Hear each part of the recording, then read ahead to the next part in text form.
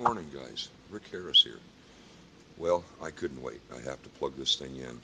I plugged it in last night, and I had some little setbacks, but I believe we figured this out. Let me show you here.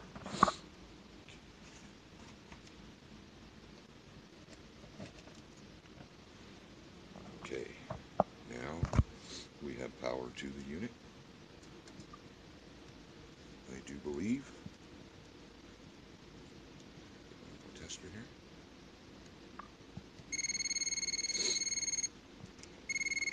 Okay, so we're showing power.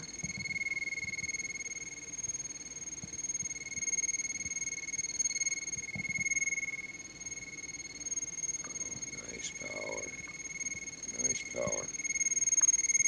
Okay, so what happened is last night when I plugged this in, I energized the coil, but I've got no power coming through it. So what I did is I figured out that my capacitor right here, this guy is not working.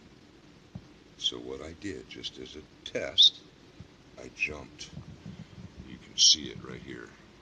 I just took this little nano-coated wire and jumped across my capacitor.